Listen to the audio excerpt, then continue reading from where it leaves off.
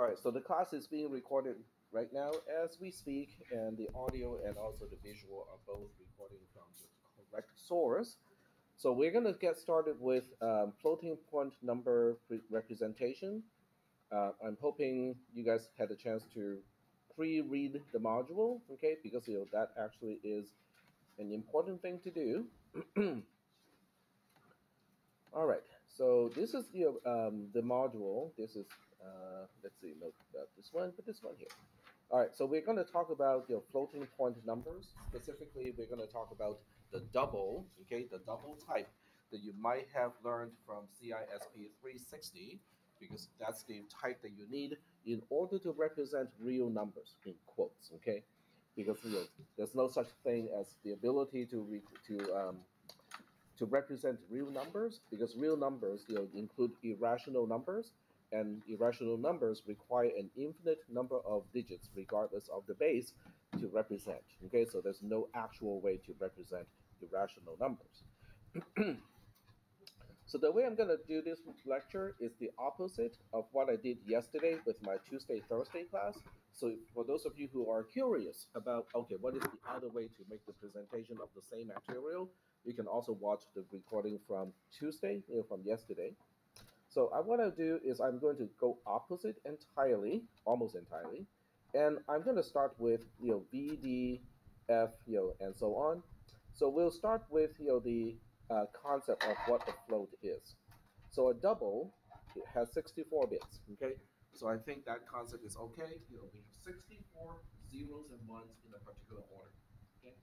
The question is, how do we interpret those 64 zeros and ones? Okay, so that is the question.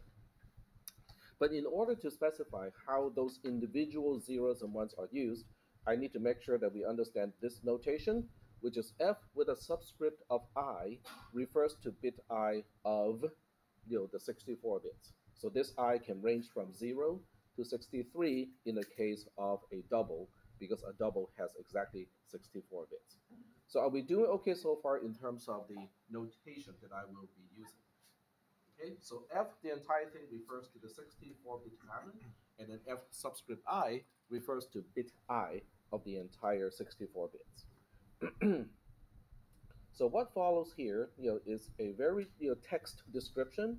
Bit 63, which is the most, the most significant bit, is called the sign bit, it is not quite the same as the sign bit in signed interpretation of integers. This one really just indicates whether the entire quantity is negative or not negative. If the sign bit is a 1, it is negative. If the sign bit is a 0, it is not negative. And in bit 52 to 62, these 11 bits is um, basically the biased exponent of 2. Okay, I'll explain that in just a little bit. and then from bit 0 to bit 51, these are known as the fraction of the mantissa. So what I'll do is I'm going to introduce this equation first, and then we'll kind of use an example to illustrate how to read this. So forget about this part here, okay? So this part you can just kind of skip and not read it for the time being. So we start with VD of F, okay? So the so the convention that I've been using in this class is this little subscript here tells us what kind of interpretation we are looking at. So a subscript of D means we are using double as a as a as a way of interpreting. Um, D is value, and this is F as a bit pattern. In other words, we are looking at the double interpretation of the pattern known as F, and we want to figure out what value it is representing. Is that okay? So in that sense, you know, it is similar, even though it's not exactly the same, as the VS and the VU, you know, definitions, because those are for signed and unsigned integer interpretation. This one is for a floating point number interpretation.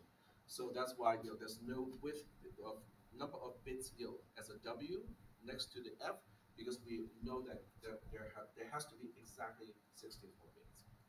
Are we doing okay so far? Okay. So now we look at this portion of the equation. Let me just magnify this because it is important for us. And so I'm going to ma magnify as much as possible because I want to kind of point to each individual component so that we can identify what it's doing and how it's getting the job done. The first one is only using you know f, f of 63, which means we are looking at the most significant bit here. The most significant bit, which can, which can only be a 0 or 1, is the exponent of negative 1 as one of the components of the product. So if f of 63 is a 0, we have negative 1 raised to the power of 0. And what is the value of negative 1 to the power of 0? 1. It's just 1. Okay, very good. What about, uh, what if your f of 63 is 1? Then we are raising negative 1 to the power of 1, which gives us negative 1. Negative 1. Okay, so that really is just another way to specify um, what I said a little bit earlier verbally, which is you know if f of 63 is uh, is a 1, then the entire quantity is negative. Otherwise, the entire quantity is non-negative. Is that okay? So now we look at this hot mess here, okay? So it looks like a mess, but at the same time, it does look like something that we should have seen already, okay? In other words, we're looking at this and go like, okay, so other than we have this kind of weird one plus here, the sigma notation does seem to have, oh, yeah, so the sigma notation seems to have the format that we have seen already, even though there's a certain offset to the whole thing. In other words, we are looking at each digit from digit 0 all the way up to digit 51, and we're multiplying that digit by some kind of power of 2. Is that okay? But instead of looking at you know, f of i times you know, uh, 2 to the power of i, there's an offset of 52. So, so can someone tell me what happens when f equals to negative 52? If f if i is negative 52, which digit am I looking at? Zero. Very good. So we're looking at f subscript zero. And what power of 2 am I multiplying to digit 0? It'll be 2 to the power of whatever i is, and i was negative 52.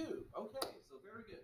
So that means f of 0 is multiplied by 2 to the power of negative 52. f of 1 is multiplied by 2 to the power of negative 51. F of 2 is multiplied by 2 to the power of negative 50, and so on. Okay? So that means, you know, other than a certain quote-unquote offset between the bit position and the power of 2 that we are multiplying, it's kind of doing the same thing.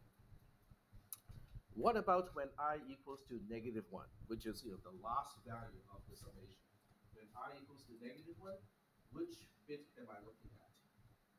F of 51. 51, and it's multiplied by 2 to the power of negative 1. Okay, very good.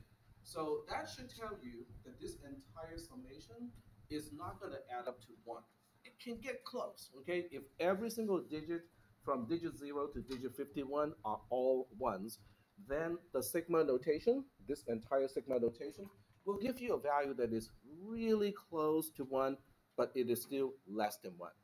Are you convinced? Okay? Because this entire sigma notation can only give you like 1 half plus 1 quarter plus one eighth plus one sixteenth and so on and it will be a really, really long term because we have 52 terms over here. But nonetheless, it can never add up to 1. But we're adding 1 to it, okay? So that means everything in this parentheses is going to range from 1 to just a little bit less than 2. Is that okay? All right. and then we multiply this entire thing by 2 to the power of another hot mess over here. So we'll take a look at this hot mess. So the one question I have is, when you see something like this, you know, what do you do with you know, the sigma notation? My recommendation is to plug in the first and the last value just to see you know, what is the range it is specifying, both in terms of what digits am I looking at and also what powers of 2 am I multiplying. So plug in the extreme values, just like what I did with this one. So when i equals to 0, which bit am I looking at? 52. We're looking at 50, 52. Very good. Which is either 1 or 0. But what power of 2 am I multiplying to bit 52? 2 to the power of 0, okay? So the next one is going to be bit 53, which is multiplied by 2 to the power of 1, blah, blah, blah, and so on. The last one is going to be bit 50, oh, not 50. The last one is going to be what? Bit 62, and is multiplied by 2 to the power of 10. Very good. Okay. So that means you know we are treating that portion of the bits you know a little bit differently from the rest, and and then once we have this summation, now it should be fairly clear to us that this entire thing is non-negative. Are we convinced that this has to be non-negative? Because every bit is either a zero or one, and every power of two is also non-negative. So when you multiply a non-negative value by a non-negative value, you get a non-negative value. And when you add up a whole bunch of non-negative values, you also end up with a non-negative sum. Is that okay? But this entire thing, okay, this entire sigma notation, whatever it comes up to be, we are going to subtract 1023 from it in order to become the actual exponent of 2. And then we multiply this power of 2 with to the rest of the product, and that becomes the value that is being represented by the bit pattern f when we choose to interpret pattern f as a double. Is that okay? Okay, it sounds like a mouthful, okay? So what we're going to do is we're going to use an example, okay?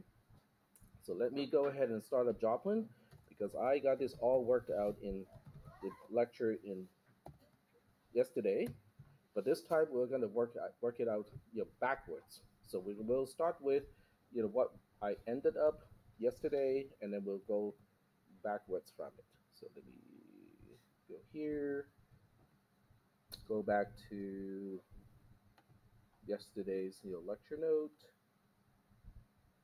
Um, let's see, today is, yeah, so this is the lecture note from yesterday I cannot remember where I. Okay. Hmm. That is a little strange. All right, so let me go do that next. And right now we're going to take row first. Okay, so this is the row taking activity for today. The password is, not surprisingly, double. So just going to write this on the whiteboard. So you guys go ahead and do this, and I am going to dig up my notes from yesterday. Oh, I know what happened. Think yesterday I was using not Joplin, I was using a text editor. So let me go to Mousepad.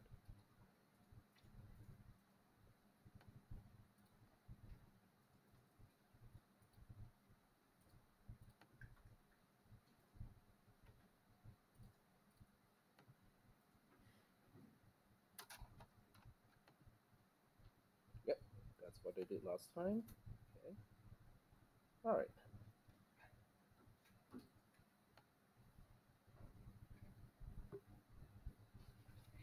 When you guys are done, you know, taking notes, you know, I will continue with the lecture.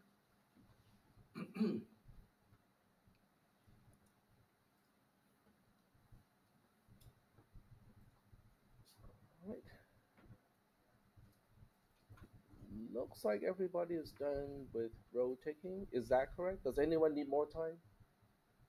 Okay. You need more time?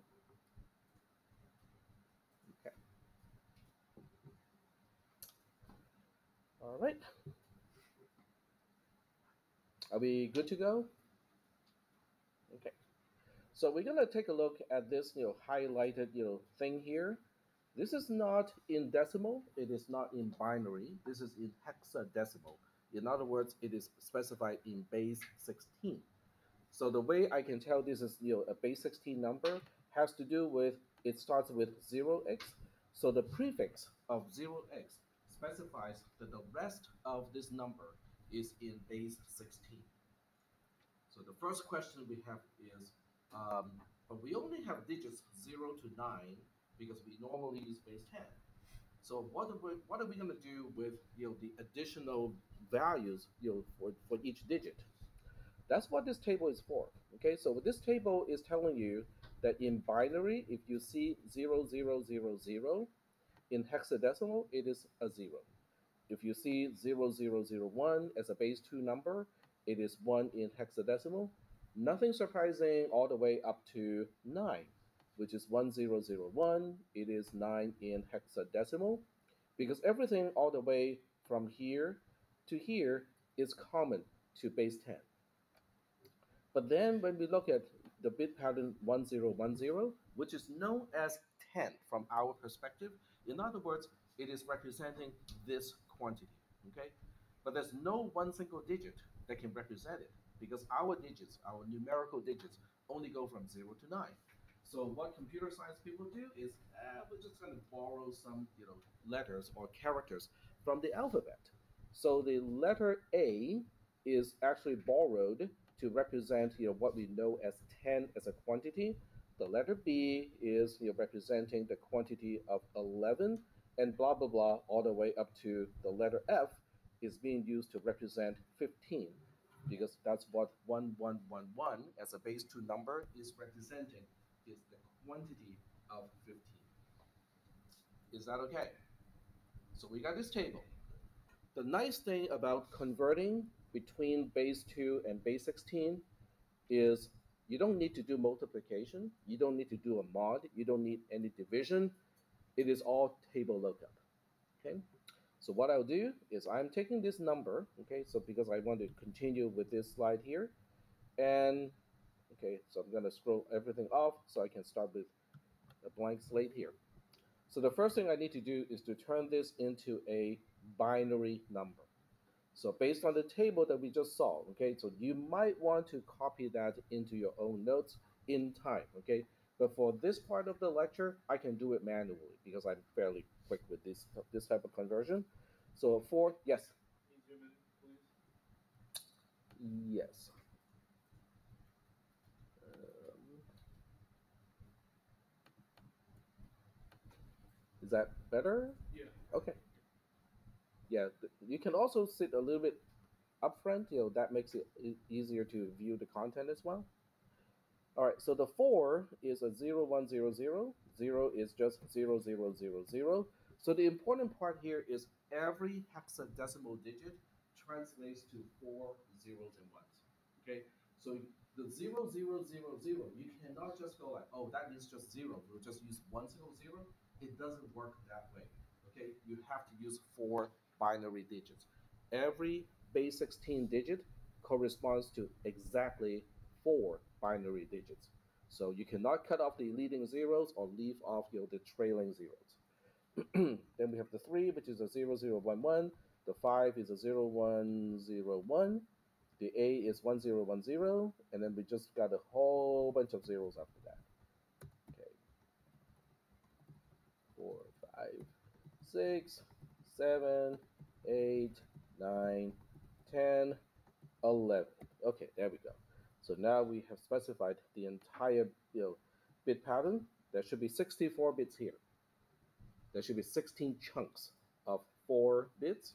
So let's do some counting just to double check and make sure. 1, 2, 3, 4, 5, 6, 7, 8, 9, 10, 11, 12, 13, 14, 15, 16. So we have exactly 64 bits here. And then the next thing I'll do is I am going to, I, I'm still getting used to this keyboard because the key layout is different from my other keyboard. So the next thing I'm going to do is just to go like, okay, let's remove all the spaces. Okay, we'll make the whole thing into one gigantic string of zeros and ones, getting rid of all the spaces. This is faster using the delete key. All right. So now we want to identify you know which bits are which bits because we want to know like okay who is bit 0 and who's bit 63.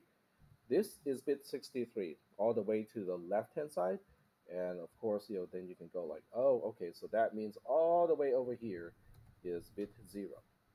You would be correct that is bit 0. But these are not the only two bit positions that are of importance to us because we also want to know where is bit 62 and bit 62 is right here, and I have to turn off uh, insert mode so I can just you know, kind of change these things. So the next position that is important is bit 52. So if this is 62, 61, 60, 59, 8, 7, 6, 5, 4, 3, 2. There we go. So this is bit 52. okay, 5, 2, and this is 5, 1. So now we have identified you know, the, the chunks of bits that are actually important to us. Remember, you have to read vertically 63, 62, 52, 51, and 0, 0. Okay? So are we okay with how to read the bit positions?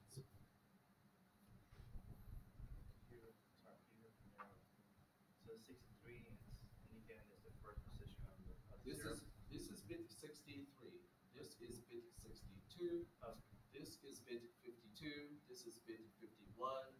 And this is bit 00. Okay.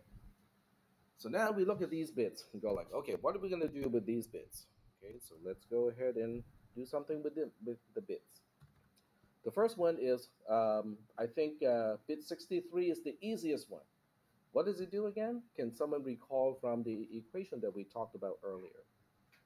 Says whether it's negative or positive. Yep. Okay. So that means you know, in this case, this number is is it negative?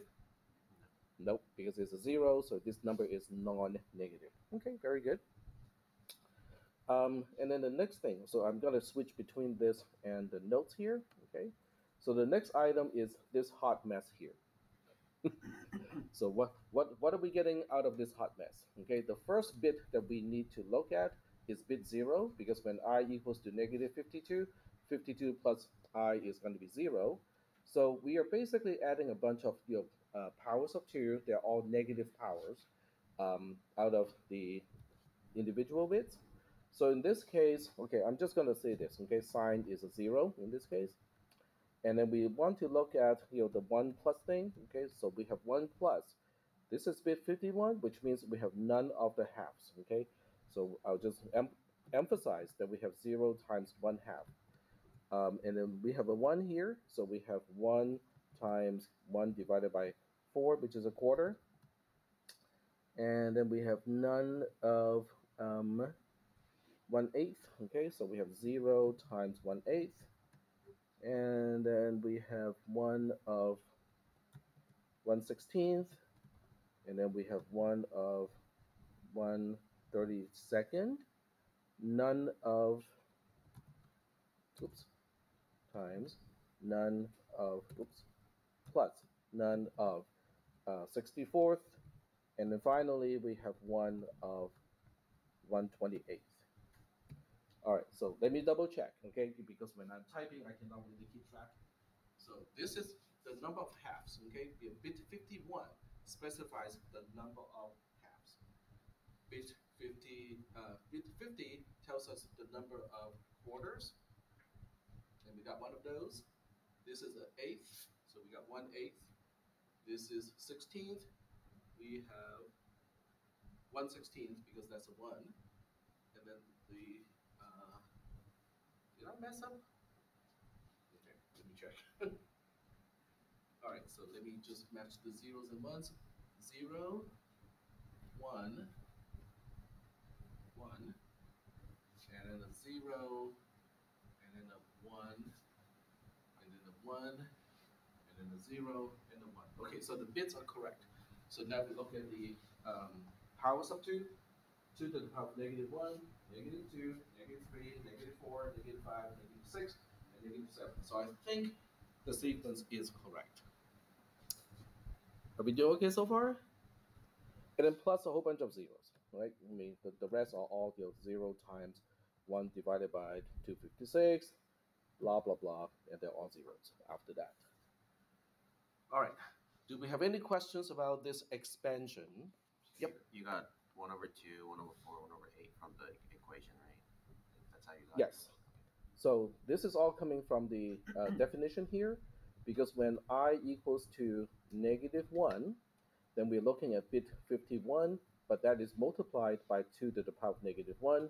So I'm just using that sequence to convert into, to expand you know, what we're seeing here.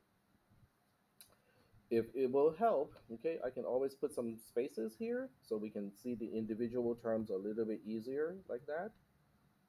Okay. Just add one space after the plus. Okay. And so on. Okay, that's fine.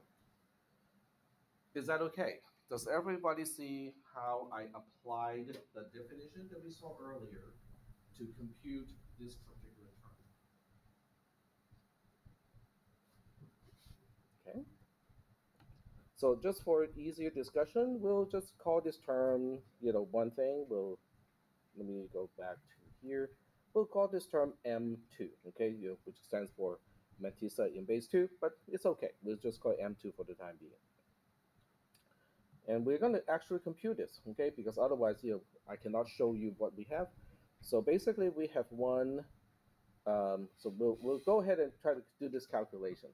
Um, the smallest, denom the smallest denominator is 128. So we're going to have, to, we will use that as our common denominator. So now we ask, um, what is a quarter in terms of 128? Guess 32, right? So we have a 32. And okay, so let me just kind of emphasize what we're doing here. We're trying to combine you know all the fractions together. So this is a 32nd, a 32 uh, when we divide it by 128. That's a zero, we don't have to deal with that. This is a 16, and I think there are eight 16s in uh, 128, so that's an eight. Um, and then the next one is a 30, 32nd, there are four 32s in 128, so we have a 4 here. And then the next one is, um, oh, that's 128 already. So that's just 1 divided by 128. So does everybody see what I'm trying to do here?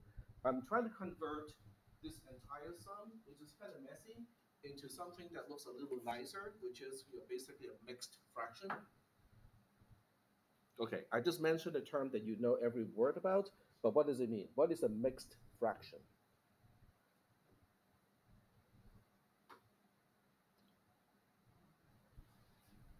There's no need to look at me or squint at me because you all have smartphones. Go to Google, find out what is a mixed fraction. A mixed fraction is basically a fraction that also has a whole number next to it. That is what we call a mixed fraction. Okay, so what I'm trying to do is to turn this into a mixed fraction. So now we have 1, and then we just have to add up, you know, 32 plus 8 is 40, 40 plus 40. Yeah, go ahead. Uh, is there supposed to be a plus 1 after that one, or um, the second one? The second one? It says 1 parentheses 32. You mean this one here? No, uh, the one, one in the front. You mean here? Yeah. Yeah, but this is this is supposed to be a mixed fraction. Oh, mixed I can't Okay. really show a mixed fraction with a Okay. plain text editor. So, but you're correct. You know, if I want to use, uh, it, it's the same having a plus here. You're correct. But as a mixed fraction, uh, 32 plus 8 is 40, 40 plus 4 is 44, 44 plus 1 is 45. So we have basically 45 128ths. That's the actual mixed fraction. Are we doing okay? Are we doing okay so far? Okay, so that's M2. Okay, I call this whole thing M2. So now I'm going to work with E2. So E2, let me go back to the definition here. So E2 is going to refer to this portion, okay, this entire thing up here, including the subtraction of 1023. So we want to figure out what are we adding and what are we subtracting, you know, from from this whole thing. So we are going from i is going from 0 to 10. So we are looking at f52, bit 52, multiplied by 2 to the power of 0, and then just go from there. Okay. So now we go back to the example. Bit 52 is this one here, and it is multiplied by 2 to the power of 0. Okay. So we're going to look at this. 1 times 2 to the power of 0 plus another 1 times 2 to the power of 1. That's because this is bit 53 and it has a 1 in it. And then we got a whole bunch of zeros. So this time I'm going to skip the whole bunch of zeros. And we'll go all the way to bit 62, which is the last one. So now we go to the last one, which is also a 1. And this is multiplied by 2 to the power of 10. So we'll do a sanity check, okay? When bit 62 is a 1, are we supposed to multiply that 1 by 2 to the power of 10? So we go back to the definition again, and we go like, okay, what, eh, what happens when i equals to 10?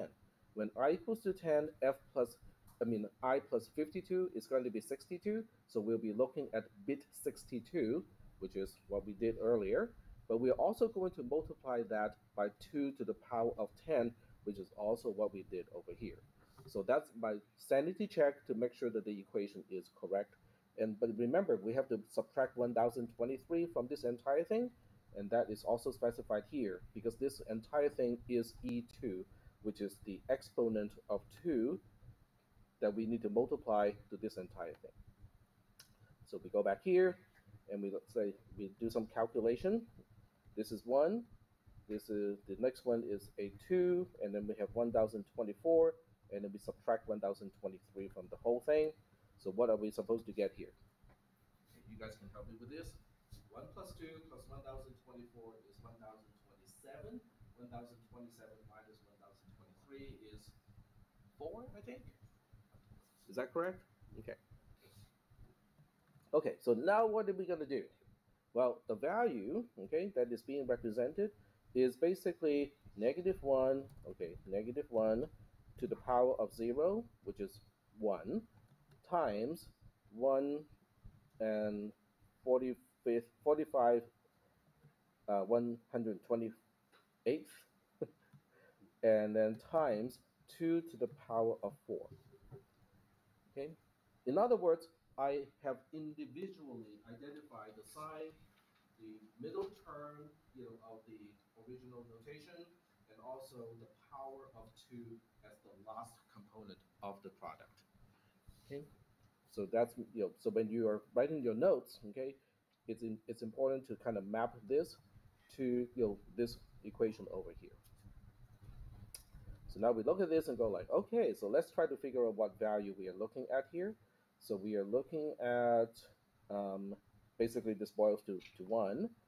And then the quick way to uh, do this multiplication is we have 16 and then we have 45 divided by, um, let's see, 128 divided by 16 is 8, I think, right? Okay, so now we have, you know, basically, okay, 1 times whatever is just whatever, so we just focus on the other side. Uh, what is 45 divided by 8, or what is the, the mixed fraction representing 45 over 8?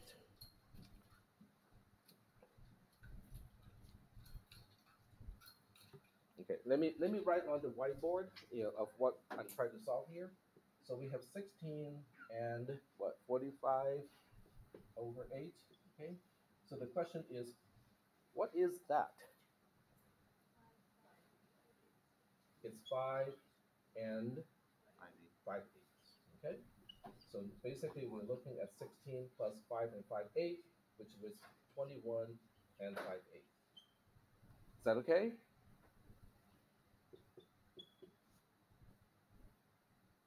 We good?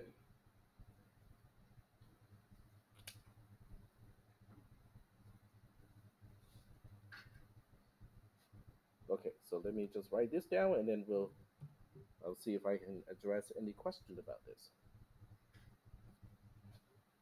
The 16, this mixed fraction, okay, if you look at this fraction, mixed fraction, you can always look at the mixed fraction as the whole number plus whatever fraction is after the whole number.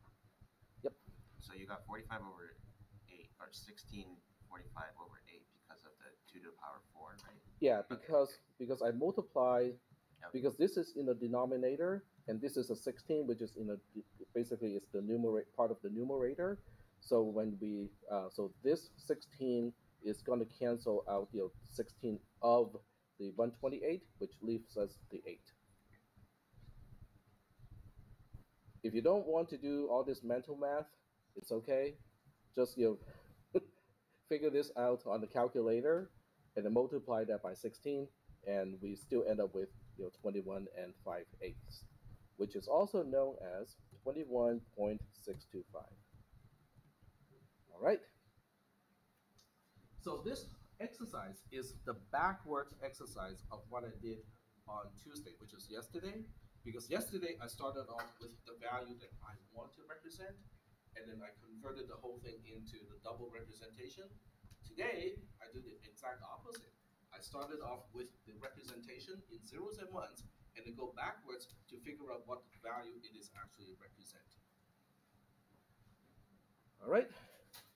Are we? Do we have any questions? I'm gonna pause here and see if I can address any questions.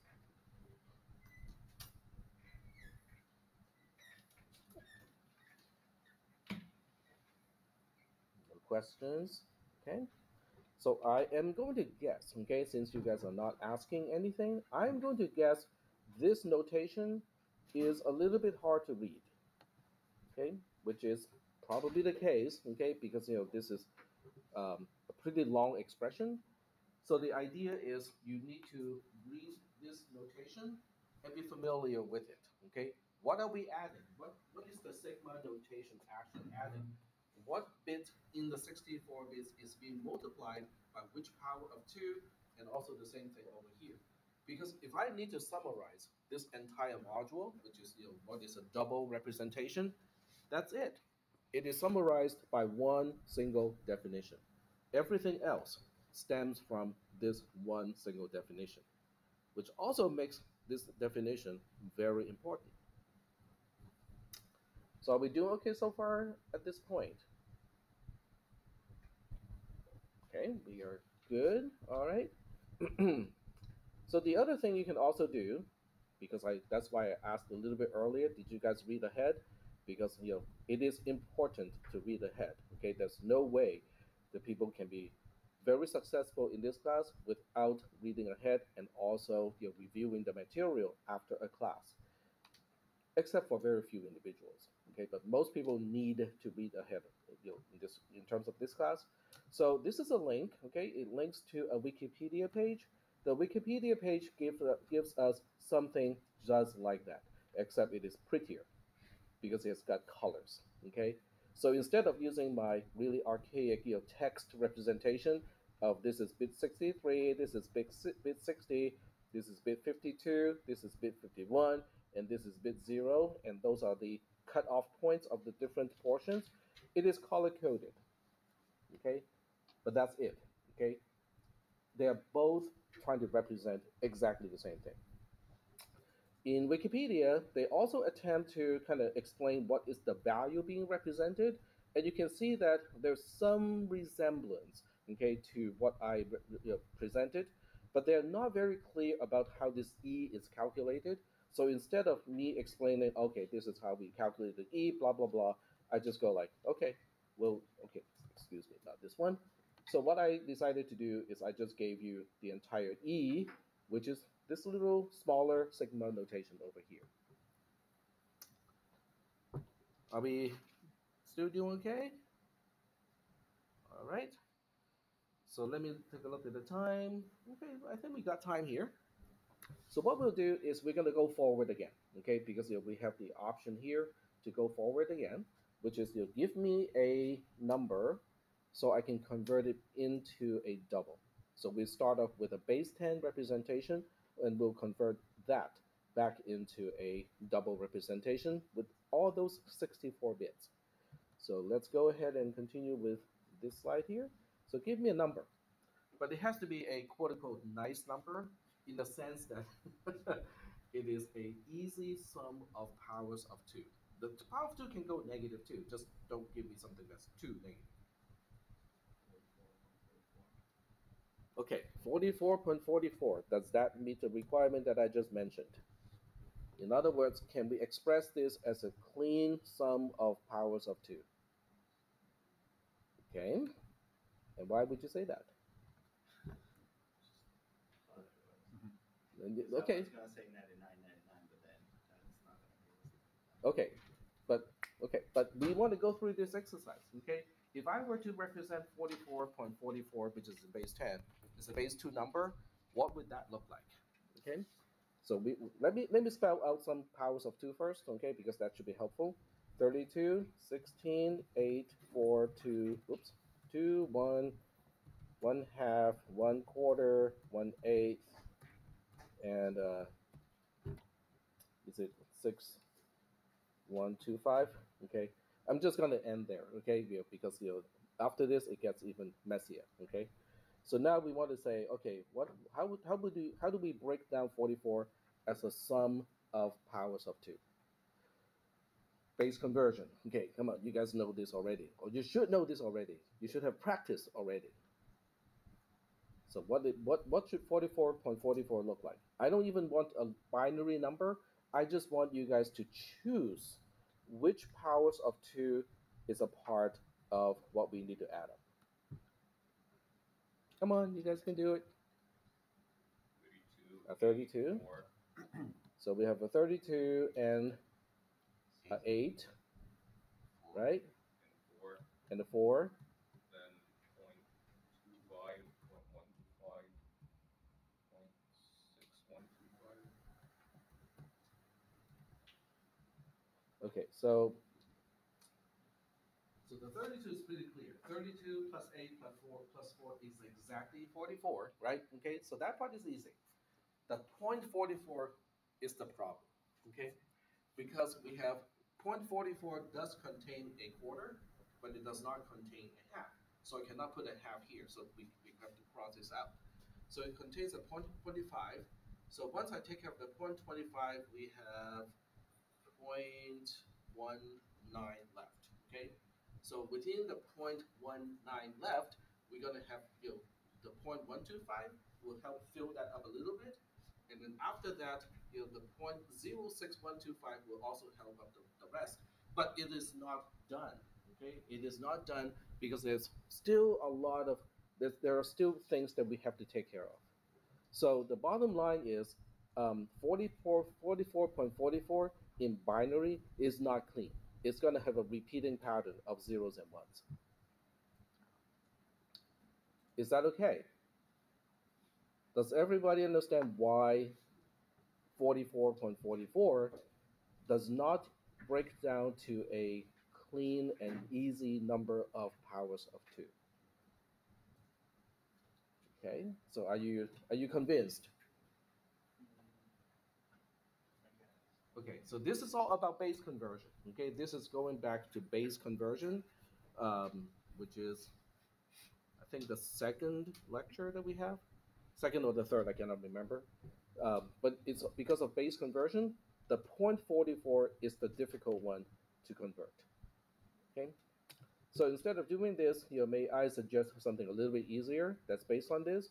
We'll just say, you know, 44.325. 375, sorry. 375, because 375 is no half, one quarter, and one eighth. So that's a pretty easy one to, to convert. All right, so we'll start with that. Okay, so we, we'll look at 44.375 and then we'll try to figure out how do we convert that back into a double. So here we go. So we look at 44.375 as a base 10 number. So we're going to break this down again, okay, but this time into base 2 number to begin with. So the 32 is 1 followed by how many zeros in base 2? How do we specify the quantity of 32 as a base 2 number? It is 1 followed by how many zeros?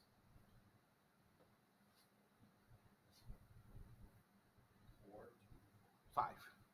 Because 32 is 2 to the power of 5, so the number of zeros you know, on the right hand side corresponds to the power of 2. So since 32 is 2 to the power of 5, it is 1 followed by 5 zeros in base 2. Does that make sense to you? Okay, so let's let's double check, okay? Because everything is related to everything else. Okay, so this is not a concept that is on its own, standalone, or anything like that. The fact that 32 is 1 followed by 5 zeros has everything to do with base conversion that we have learned already. Tell me again what is the role of each digit in the base 2 number? It is specifying the quantity of a power of 2 corresponding to the position of the digit. Okay? So that is the most important part because everything else is derived from that one statement. So this is digit 0. Remember, we count from 0. Okay, that's important as well. This is digit 0, digit 1, digit 2, digit 3, digit 4, digit 5. So this specifies that we have 1 of 2 to the power of 5, which is the 32. That is why 32 in base 2 is 1 followed by 5 zeros. Because the digit 0 all the way up to digit 4, they're all zeros because the value itself is itself a power of 2. So there's only one 1 in that base 2 number. Okay, so it is. I think it's important to kind of draw those you know connections. Okay, so the eight is one zero zero zero because it is two to the power three. The four is one zero zero in base two because it's two to the power two. And now we are moving into the decimal point. Okay, the fraction part. So the 0.25 is 2 to the power of negative 2. But remember, what the, the job of the point is to separate the is to separate digit 0, which is immediately to its left-hand side, and digit negative 1, which is immediately, immediately to its right-hand side. So we have none of those, but we have one of those. So the 0.01 in base 2 specifies 0.25 in base 10, which is a quarter. Is that okay? This is all going back to base conversion. Okay, this is nothing new. It is base conversion because this is representing digit negative 1 This is digit negative 2. So we have 1 at the position of negative 2, which means we have 1 of 2 to the power of negative 2, which is basically what the quarter is, which is accounting for this quantity, the quarter here. So once we take care of the quarter, we have 1 eighth left. So that would be in base 2. Okay, I have to emphasize this is in base 2, otherwise it would just be 0.01 as in 1 hundredth in base 10. So now we have the um, the eighth, which is specified as 0.001, because an eighth is 2 to the power of negative 3, which means we have a 1 at digit negative 3, so that's why it is known as 0.001 in base 2. That's what an eighth is, that's how an eighth is represented. All right, so now we add up all of these, okay, so we have, you know, one zero one zero one. I think. Or am I? Nope. Okay, I'm wrong. So we have one here, one here, zero zero over here, one zero one one in base two. There we go. so the summation is fairly easy to do because there's no carry. Because for each bit position, there can only be up to one one, which means we don't have to worry about carrying. So yeah, it's pretty easy to carry out this particular um, uh, addition. So now we have this number in base 2. And the next thing I want to do is like, okay, so let me ask you this question. So is this really the same thing as, okay, you don't have to, you can copy this if you want to, but I'm just going to put here times 2 to the power of 0. Is anyone going to dispute this equality? the last equality over here. You guys, you guys are all shaking your head. It's like, Tak, what are, what are you doing? You're multiplying the whole thing by one. What is the whole purpose of multiplying this whole thing by one? Right? Well, there's a purpose to it. Okay? So because two to the power two to the power of zero is just one, and multiplication by one doesn't really do anything to the entire product, so it's okay. It's not a big deal. So here comes the next question. Okay, this also has to do with base conversion, but it is a interesting application of you know, what we know about base conversion. Okay, I'm just going to leave it like this, and I'll move the um, text up a little bit so that people in the back can clearly see the whole thing. There we go. All right. So if I move this point over by over to the left hand side by one position, what happens to the value being represented? Ignore this part here. So if I were to compare the binary number 101100.011 to the binary number of 10110 point 0011, how do they relate?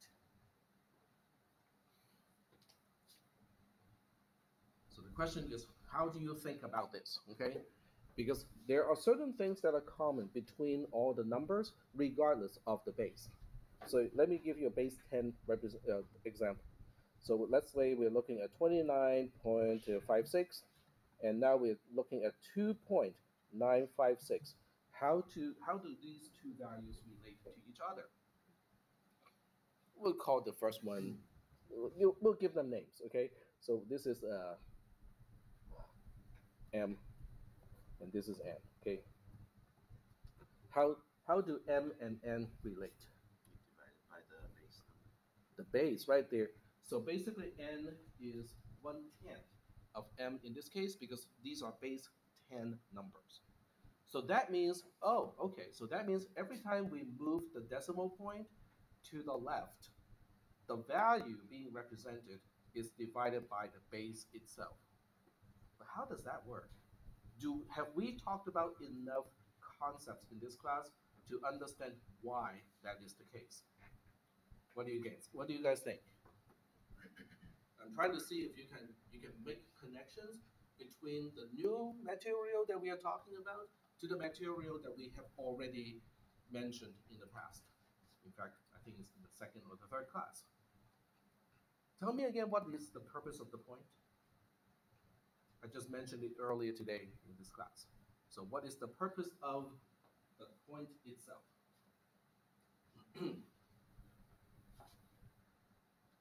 The t- like it separates the base to the zero and base to the negative. But yep, that is correct. Okay, very good. So the whole purpose of the point, the point of the point, so to speak, is it is a separator from so that we can distinguish digit zero from digit negative. Do you recall that I have mentioned that today? Is that in your notes?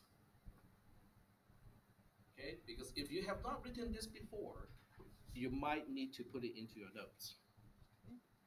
So if that is the case, what I have just done here is uh, what used to be digit zero is now digit negative one.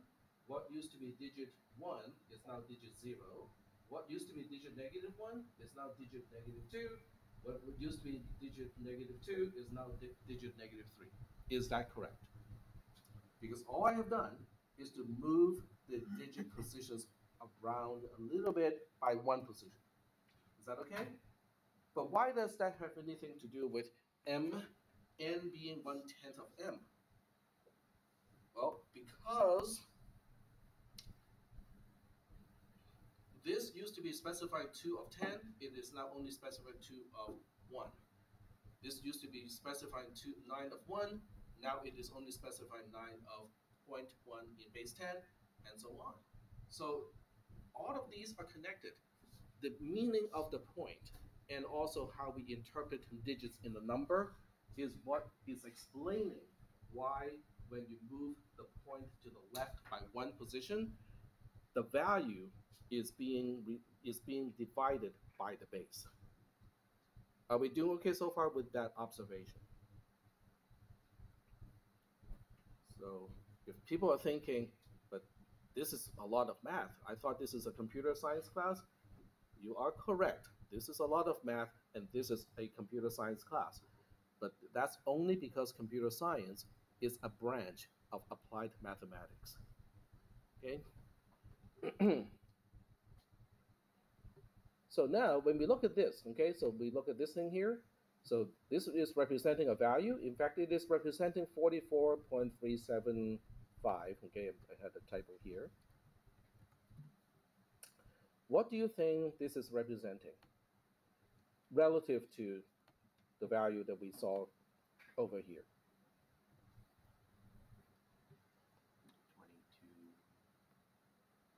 I only need to know, you know, can you can you just describe it? Okay, I don't need the exact value. Can you describe how this value relates to this value over here? It's, it's half. It's one half of it, right? In other words, if you divide this value by two, then you get this value because we're dealing with base 2 and we are moving the decimal point to the left by one position. Great. But that means this equality is not holding anymore because I just changed the left-hand side of the multiplication so that it's one half of what it used to be. I really want to have this equality here. So what should I do to the power of 2? Put a 1 there because when you increment the power of 2, you, it, is, it has the same effect as multiplication by 2. So a multiplication by 2 cancels out the implicit division by 2 by moving the decimal point to the left-hand side by 1 for a base 2 number. Are we doing okay so far with that concept? Both what we are doing mechanically and why it works. So strictly speaking, if you need to pass this class, just knowing the mechanism is sufficient. But just working with the mechanism is not going to help you in other classes. Understanding how it works will help you with all the future classes that you're going to have to deal with. Because you know, this is I can promise you this is not the first the last time you have to deal with math like this in your computer science program. Are we doing okay so far? All right. So now I go like, okay, if I were to extend this approach and go like, just go all the way, 0, 1, 1, 0, 0, 0, 1, 1 in base 2. Um, can someone tell me what power of 2 should I use here so that the equality is holding? Go like, hmm? Okay, so 5 is correct. Because you know, that basically is counting the number of times we have to move this decimal point all the way here. 1, 2, 3, 4, 5. So that means this has to be raised to the power of 5. There we go. Very good. Excellent. All right. So, but how do we keep, how do we make a sanity check, okay, that this makes sense, sort of, okay? Well, all we have to do is to say, okay, what is 2 to the power of 5? 32. This is 1 point blah, blah, blah times 32, which means the product is going to be at least 32. Well, I think it's, it matches 44 because 44 is a number between 32 and 64. So we know that the number of this power of 5 is making sense. Because if, if we end up with a 4, it doesn't make sense. Because if, if we end up with a 4 here, it is only 16. And 44 has at least two 16s in it. If we end up with a 6 here, it also does not make sense. Because 2 to the power of 6 is 64. 1 time, you know, 1 times 64 is already 64, and this number is less than 64. So that's why I can make a sanity check and go like, okay, this is 32, and we're multiplying 60, 32 by 1 point blah, blah, blah. Okay, that's, that's okay, good enough. Because I just want to make sure that the exponent is correct. Is that okay so far? So now we look at this number, we look at this and go like, huh. Does that remind you of scientific notation? Except in when you, okay, how many people do not know what I'm talking about in terms of scientific notation? I, would, I need to double check that we all know what is a scientific notation. We all good with that? Okay. So this is the scientific notation, which means when we have a huge value or really, really small value to represent, we go like, I don't want to have to type in all the zeros. I want to use a very quick and notation to do that. A very good example, there are a few. One is the speed of light. What is the speed of light? Yep. 300 million meters per second. That is correct. 300 million, uh, 300 million meters per second. That is correct. So if you are taking a physics class and you have to do some calculations based on the speed of light, you do you want to type 300 and then count 1, 2, 3, 4, 5, 6 every single time when you specify the speed of light? Or do you want to just go like, oh, this is the speed of light? I think that is much better. So the question is, what is that representing? What, what does the E and the 8 have anything to do with the speed of light? Okay, did you guys talk about this in CISP 360? The, the double representation and also the scientific notation? Okay, I see some nods and I see some shaking of the head. so what, what am I going to do? I know. I'll just explain it. Okay? This is the same thing as 3 times 10 to the power of 8. Okay? That's a shorthand, but this is actual C notation. Okay, so if you come from a class that this was not explained, first of all, make sure that you didn't forget first. Okay, but if the professor actually did not mention this, then the professor did not actually cover all the material that is needed. So this means the E is basically just a shorthand for this entire portion times 10 to the power of. Are we doing okay so far? All right. So what we are really doing is the same thing because the original number is this number here, and basically we are converting into converting it into a what we call a normalized coefficient, and then a power of two because everything is in base two in this case. So once we get to this point, um, we can now you know kind of extract the many components of this. The first one is the sign bit. Um, is this value negative? Nope. So the sign bit, which is also known as F63, is what? It's a zero. Okay, that's that's an easy one to figure out. Um, the actual power of two that we want is five. But we know, okay, let me go back to the notes here, okay? But we know that, you know, we are trying to represent five using this whole thing here. This is supposed to be 5. So the question is, uh, what bit pattern are we looking at? In other words, if I just need to know what this portion is, and I know the entire thing is supposed to be 5, how do I figure that out?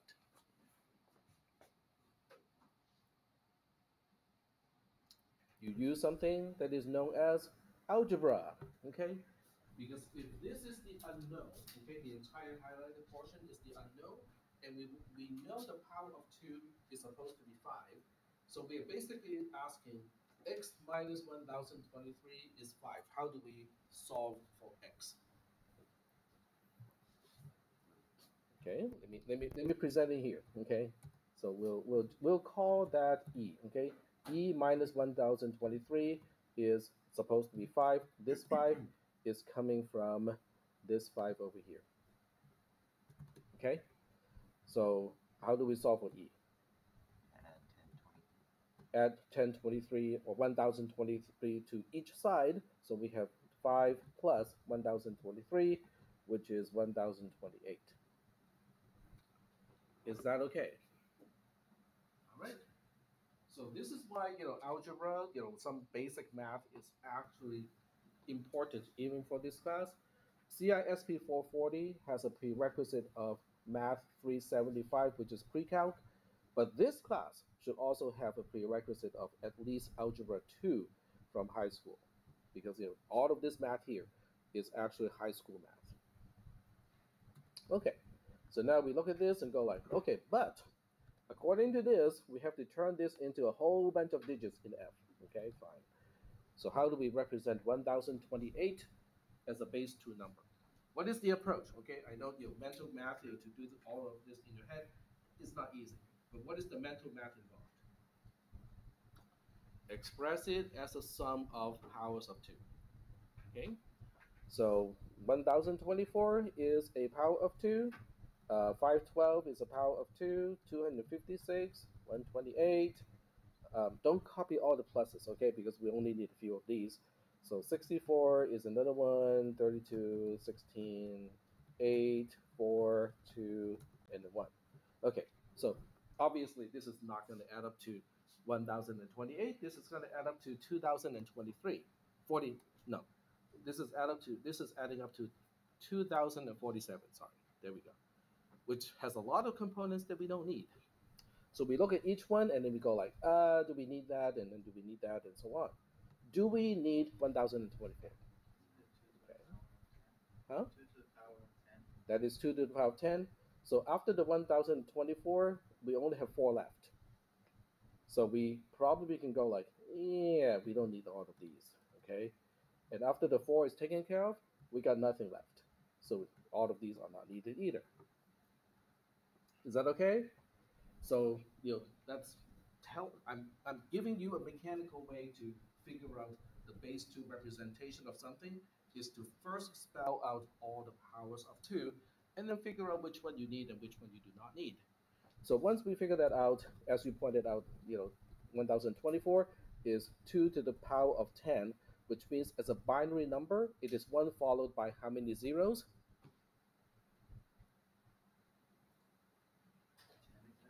10 exactly. Very good. Okay, because that's what we talked about a little bit earlier today. 1, 2, 3, 4, 5. 1, 2, 3, 4, 5. Okay. And then the 4 is 2 to the power of 2, which is 1, 0, 0 in base 2. Okay, not equal to. This is actually supposed to be plus. So now we add these two.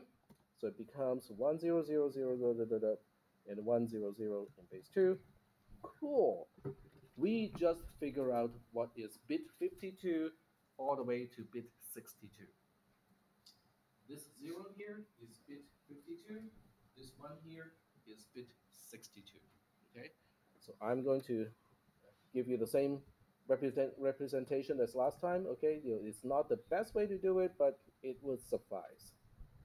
So this is bit 62.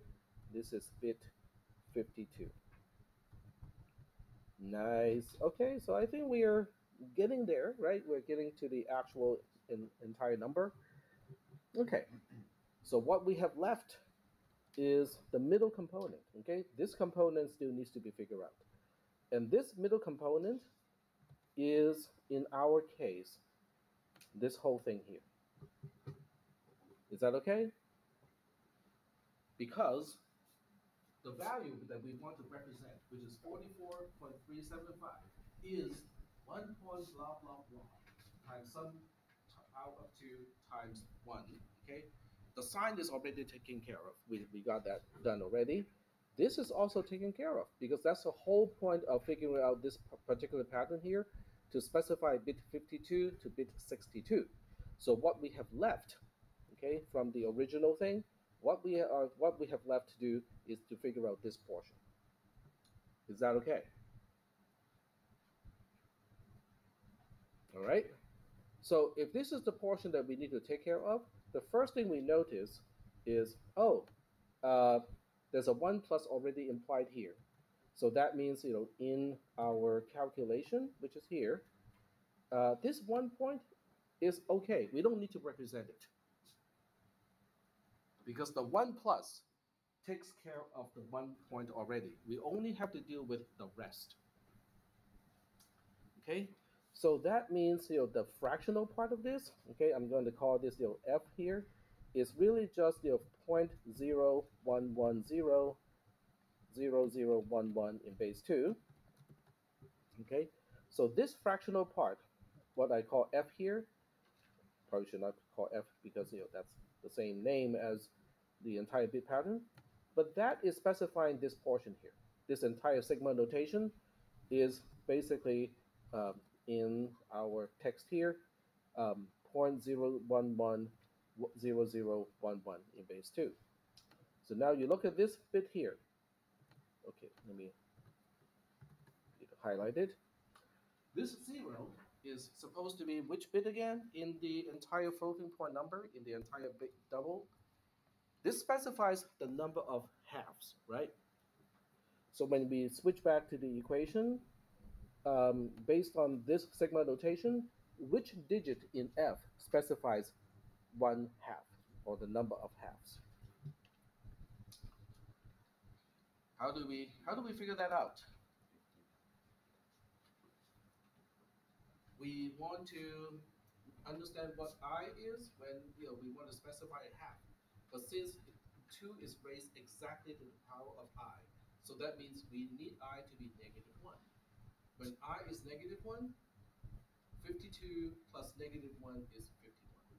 So in other words, bit 51 is where that zero that I have highlighted in the other side is supposed to go to.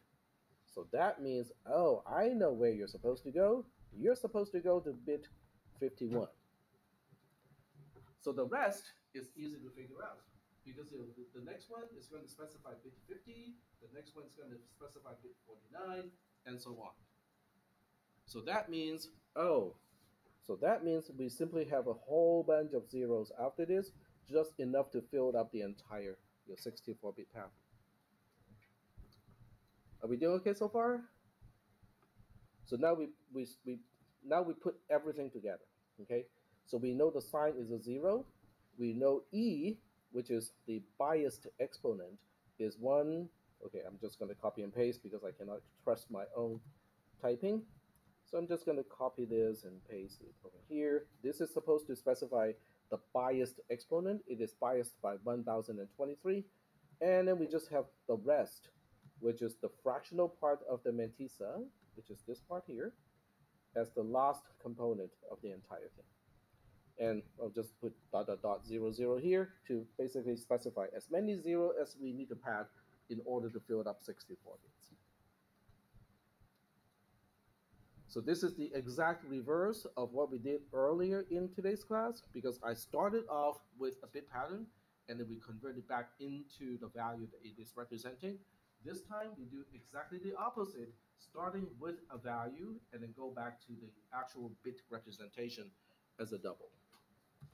So now we can go ahead and look at this. Okay, I want to finish the entire process. So put a zero, you know, get rid of the space and then chop it by uh, chunks of four. So like that. And then we do a base conversion into hexadecimal. So we have a four, a zero, a four, a six, a three, and a bunch of zeros. So there should be 11 zeros because each zero in hexadecimal specify four bits. So we have one, one, two, three, four, five, one, two, three, four, five. So this particular hexadecimal specifying a 64-bit pattern is if you interpret the bits as a double, it will represent the value that we started off with, which is 44.375. Is that okay so far? All right. Fortunately, your lab today is not going to involve you know, this kind of math, not to this degree, but it will involve math in some other way. So I'm going to put up some math equations on the board, and some of these is going to be helpful. Um, if you feel comfortable with using log, it will be tremendously helpful in today's you know, uh, lab. So I'm going to start with, um, let's say x is some kind of relational operator. Okay, I'll, I'll say know, question mark here, y. In other words, this is equal to, less than or equal to, greater than or equal to. I don't care what it is. Okay, so if this is the case, um, it also means the log of any base of x is also maintaining this relationship with the log b, whatever base of y. So what are the common b's in this case? If you have a normal calculator, what is the usual b that you use in, on your calculator? There are usually two. Hmm? 10, 10 is common, 2 is not. 10 and E, 10 and E, E being Euler's you know, constant. Okay, so you can choose whatever you want. Okay.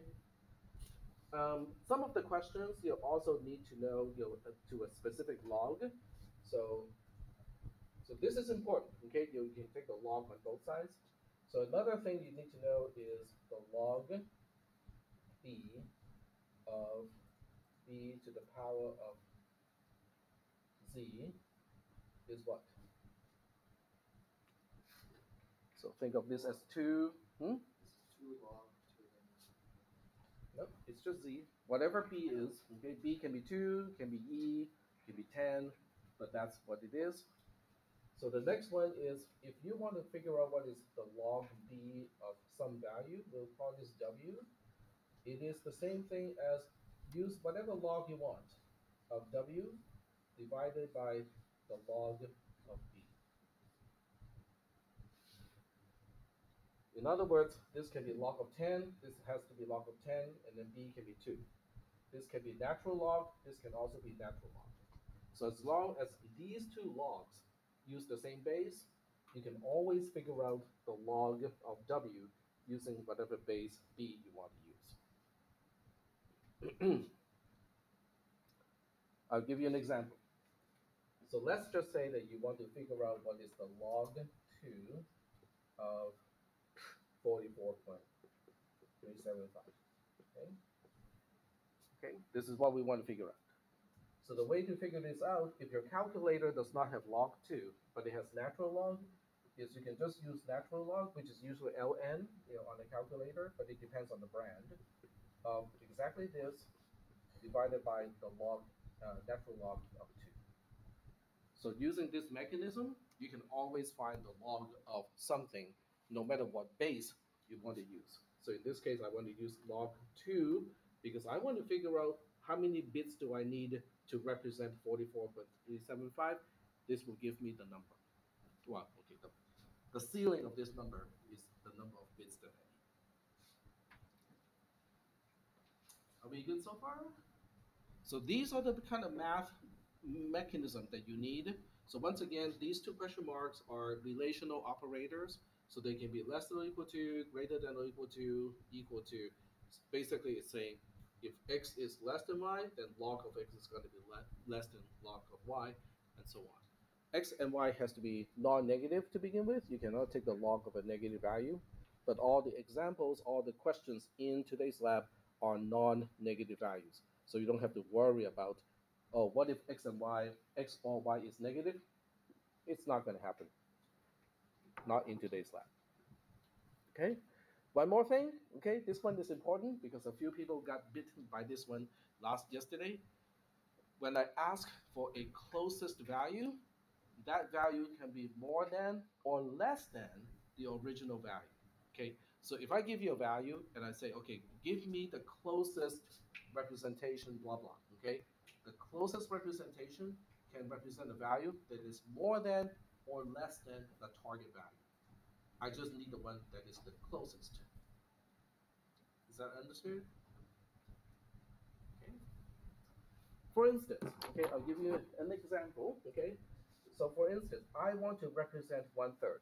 Okay, but you're only allowed to use. Um, okay, this is not a good example. I have to give you one that actually works better. Okay, this is a better one. So I want to represent two third. The the actual quantity of two-thirds. But I only allow you to specify in base 10 a number that has, let's say, two digits. I want the closest one. So what is that going to be? Six seven, right? So 0.67 is closer to the actual value of two-thirds compared to 0.66. That is the whole point, okay? You because I want to look for the closest one, not necessarily smaller than the value that I actually want to represent.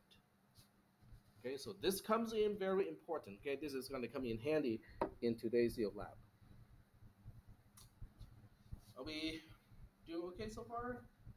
Oh, one more thing. Um, this is in the announcement already, but I, I'm going to mention it also. Is our first exam is coming up in two weeks. Okay, so it's not quite now, you know, not next Monday or Tuesday, Monday. Um, so if you go to the announcement, um, there's the announcement of exam one. And it would mention that exam one is uh, two weeks from today, which is the 2nd of October. So if you don't want to miss any important dates like this, one thing you can potentially do is to go to the calendar of this class. I'm going to show you what it looks like. So when you go to the calendar of a particular class, it comes back up. Yep, there we go. So it will show you, you know, all the dates, and you can see, you know, October 2nd is already scheduled to have the exam. So what you want to do is to use the calendar feed. If you have not done so, I highly recommend it. So learn how to use this um, feed, which is basically the in the form of a URL. Your cell phone can incorporate it. So you can incorporate that onto the calendar on your cell phone. So that way, you know, all the important dates of not only this class. If you do this, all the important dates of all the classes in Canvas will pop up on your phone. Which I think is handy, okay? Because you can just kind of scroll your phone, go like, oh, okay, I got an exam coming up on this date, homework assignment due on that date, and so on. Okay, so this is how I highly recommend it, um, but it's up to you guys to decide whether that's something you want to do or not. All right, so that's it for today's lecture. Is there anything you want me to go over before I turn off the recorder? I think I turned it on. So for the test, Uh-huh. uh, we can bring any material right as long as it's paper. As long as Uh, it's on, on a printer. So it's either handwritten, so you're more than welcome to handwrite, or you'll print it, and or. So that means, You also mentioned that the test, you're gonna answer the test on Monday of the week or on the next week? I think you mentioned that were gonna answer the previous test, right? That will be one week before your actual test. So Okay, Monday. yes, it is actually part of the announcement. Pretty sure I mentioned that. All right, so let's see here. Note that the scope will be different because I moved, I removed some material from this semester, so we are actually further along this semester compared to the last. So uh, all the topics in up to and including next Monday topic are included in the scope of exam one. And I will discuss exam one from spring 2024 next week. I didn't specify which date. That'll be next Wednesday. So on Monday, we'll still be introducing potentially new material. And then on Wednesday, we'll go over the test. Mhm. I already, I also sent you guys this PDF, which is something that you can kind of practice with. Um, so this is the, the actual test from spring 2024. And you know, question number one is going to take some time to figure out. Okay, uh, then there's question number two, and then question number three. Question number two. So part question number two talked about something that we actually did not talk about, which is the borrow look ahead subtractor. So it- is not really relevant to this class. Question number three is related to this class. Okay, and you know since this is a practice run, if you guys want to kind of try out Chat GPT, be my guest. Okay, uh, but I will give you a warning. Okay, in order for Chat GPT to be to be able to answer these questions, you need to upload some of the modules first, because otherwise, your Chat GPT will not understand what is the VS notation. You know, a lot of the notation we, that I use in this class is ChatGPT won't understand unless you upload the lecture notes. You have to give it the function. Hmm? You have to give it the. Yep, you have to you have to give it the function. The rest it will understand. Okay, yeah, but two's complement. Once again, you know that's my notation using C2. Um, you probably want to mention that C2 is two's complement or something like that if you want to ask ChatGPT to help you with this. Uh, on the second, I, I was reading about uh, the second question. Mm-hmm. I thought there was some material that we could cover on that. Um, Mainly speaking about, you know, the functions itself, right? Between U and V that we're doing. Yeah. So there is some here that is still relevant, but for the most part, because we didn't talk about um, the borrow look ahead mechanism, so that means anything that relates to borrow look ahead, you know, it's not, it's out of the scope for this class. But this class is going to have floating point number as part of the scope because that's what we are talking about now and also on Monday. Alrighty, so I think that covers everything that I need to mention. And I will open up the quiz or the lab. Also keep in mind that I do have office hours Um, the office hour of today is right before the class, but I'm usually available after class too. So in case you want to ask me some questions, you know that would be a good time to do it. And today's lab is down here. Yep, right here, floating point one. So I'm unhiding it. You can see it now. And then the passcode or the access code is I triple E. Put this on the whiteboard too. I E.